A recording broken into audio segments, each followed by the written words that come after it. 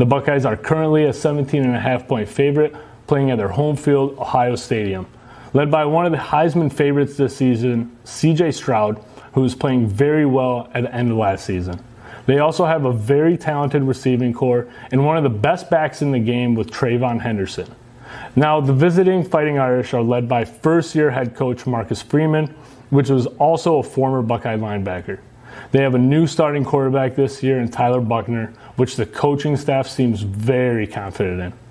Now, I believe that the Fighting Irish strength will be their defense, especially that defensive line. The special defense is led by a trio of Isaiah Foskey, Jayson Ademilola, and Rylie Mills.